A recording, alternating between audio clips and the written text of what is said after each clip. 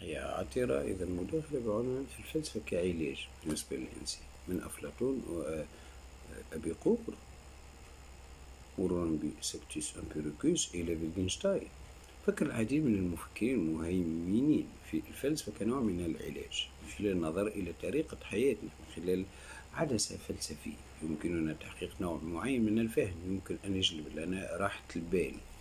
لكن هل تستطيع الفلسفة حقا أن تساعد أولئك الذين يعانون من الألم النفسي؟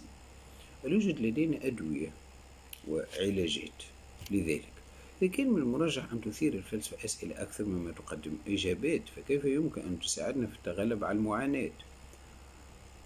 يعني ماذا يعني أن يكون هناك علاج فلسفي لمشكلة عاطفية أو نفسية يسعى الفيلسوف إلى العزاء وخاصة عندما يتعلق الأمر بالعواطف بالعودة إلى دراسات حول أرسطو والأدب. كي يبدأ العرض مع السؤال المركزي هل يمكن استخدام الفلسفة كنوع من العلاج؟ تتم المسارعة في الرد يقول إن الفلاسفة يحتاجون بالتأكيد إلى العلاج لكن الفلاسفة كمعالجين إنه غير متأكد. بعد كل شيء من يريد حقا أن ينظر من أريكة المعالج ويرى وجه نيتشه. يضحك.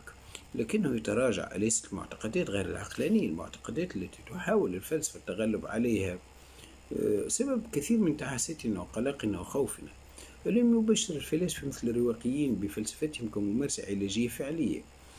لا يزال الفيلسوف متشككا لكنه مهتم بما يكفي للمتابعة بعد أن قدم تقرير الفلسفي المتجول.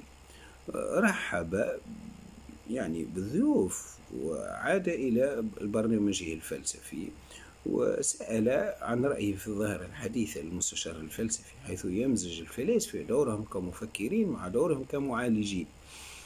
يستمد من خبرته في الفلسفة القديمة للإجابة في العالم القديم لم يكن هناك حدود بين دور الفيلسوف والمعالج بدل من ذلك لعب الفلاسفة دور كليهما الفلسفي والعلاجي.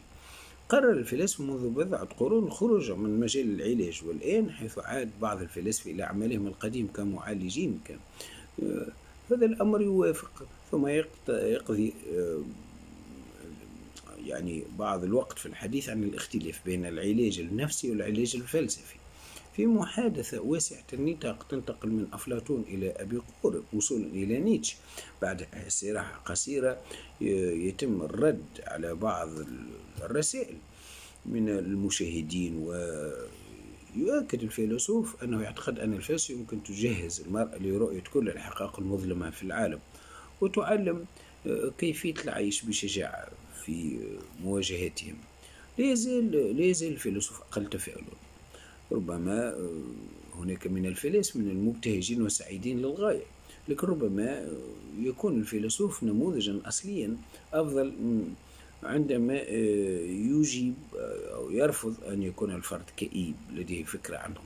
قضاء وقت ممتع يستمتع ببعض الأفكار المظلمة ولكنه يقدم تقرير فلسفي يعني متجول.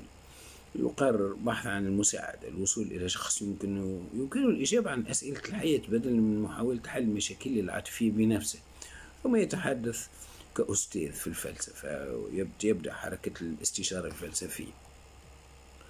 آه، إذا هذه مداخلات حول الفلسفة الفلسفة كعلاج والفيلسوف كمعالج. مثل مثل المعالج النفسي ولكن هذا هذه المرة العلاج الفلسفي شكرا جزيلا. إلى اللقاء.